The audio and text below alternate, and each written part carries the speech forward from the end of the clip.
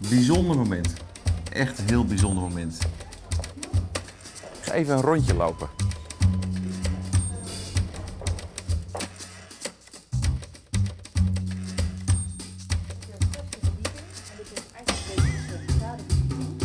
Hey. Linke, Hallo.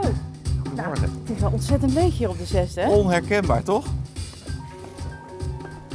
Eh, ik heb dus zometeen ook negen weken geen kantoor. En ik vraag me soms wel af. Ernst, dat is toevallig. Michel. Hey, kan jij me vertellen, we gaan zometeen negen weken dicht. waarom negen doen, weken. Waarom doen we dat? Ernst, goedemorgen. Goedemorgen Robin. Hey, en welkom in mijn vlog. Nou, wat ik het meeste ga missen in de tien weken dat we dicht gaan, Ja. is eh, toch het contact met collega's. Hè? Dat dat niet meer een vanzelfsprekendheid is. Leuk dat ik je hier tegenkom, zo lekker buiten. Ja, Zijn we vaak.